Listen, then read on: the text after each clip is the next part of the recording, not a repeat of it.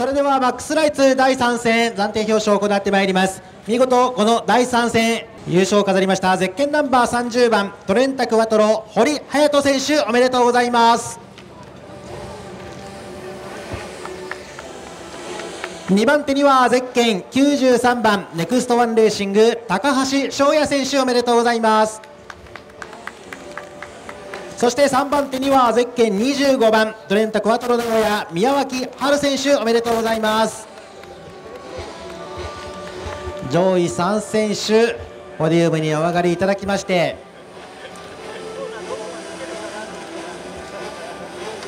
3選手に松戸代表より青賞のトロフィーが贈られます。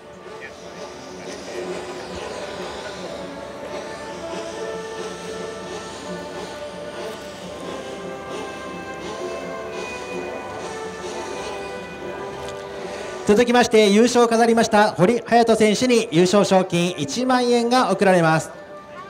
えー、そしてトリプル K アワードも一緒に贈られてまいります。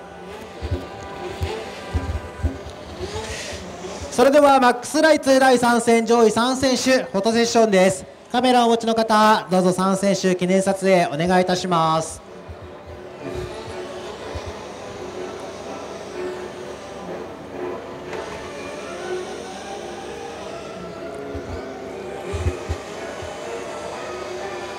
見事第3戦表彰台獲得おめでとうございました。